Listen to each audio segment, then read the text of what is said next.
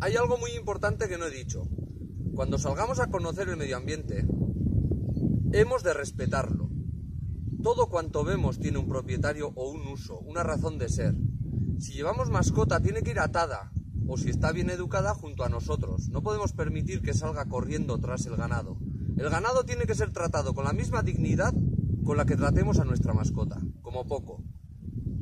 Y por lo demás, algo tan evidente como que esto no es un parque de atracciones, que respetemos el entorno, porque respetar el medio ambiente es respetarte a ti mismo.